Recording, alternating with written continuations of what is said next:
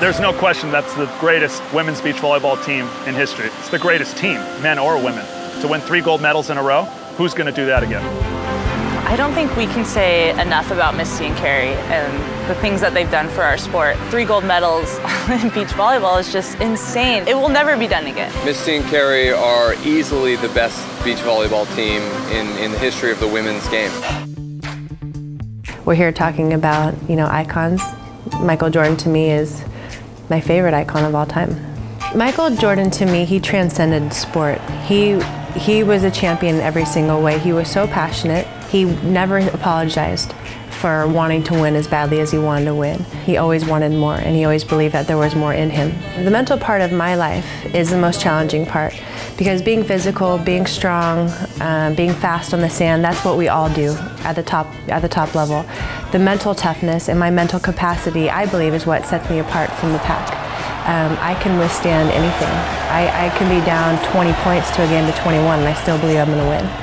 And so that to me is mental toughness. It just means I have faith that I'm never giving up. And that's the part of life, the part of sport that I really appreciate. And that's, you know, where character is made and where you have to look in the mirror, take a deep breath and say, what am I made of? Can I come back here? And the answer is always yes. Rain pouring down all morning long. Weather certainly will be a huge factor today in the gold medal Have match. a chance right here. Misty May will serve it. Wang down the line. Misty's got it. Kerri.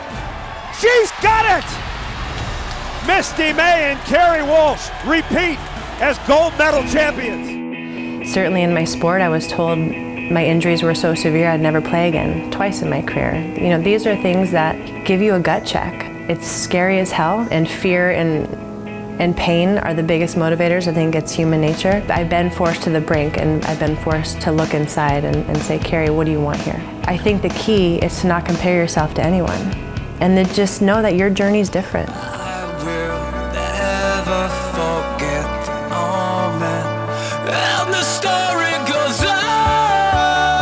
Wouldn't be playing if I thought I was maxed out, because that's not fun. The challenge and the fun is growing and bettering myself, and God, I got so much more room to go, so I love it.